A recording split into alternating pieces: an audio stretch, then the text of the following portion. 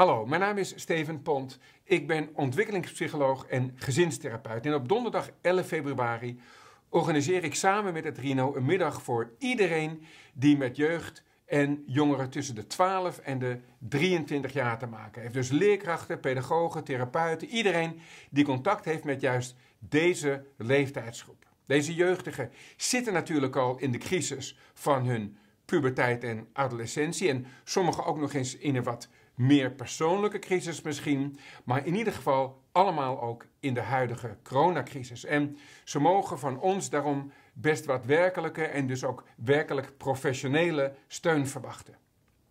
Wat gaan we doen? We concentreren ons samen met een aantal Nederlandse experts op met name twee gebieden. Namelijk rouw en eenzaamheid. Want dat zijn op het moment toch echt de demonen waar veel jeugdigen vandaag mee worstelen. De rouw natuurlijk door het verlies van allerlei zekerheden die ze hadden. Dat is aan de ene kant. En de eenzaamheid van het missen van normaal contact met leeftijdsgenoten aan de andere.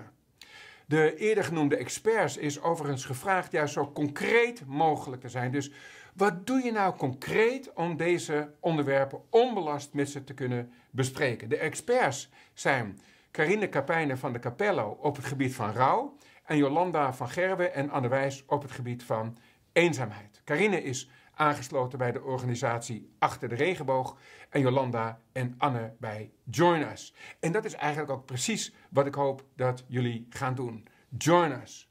We hopen alle vier jullie op 11 februari te mogen verwelkomen op ons webinar. Dus hopelijk tot dan.